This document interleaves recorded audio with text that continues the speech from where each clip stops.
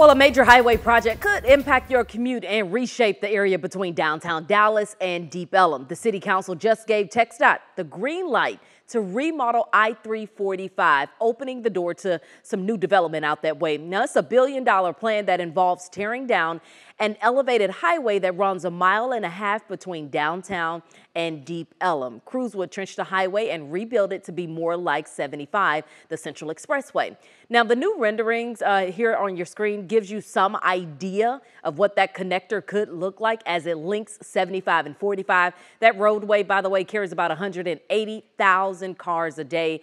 The area provides a critical passageway, by the way, as well for people in southern Dallas to travel north.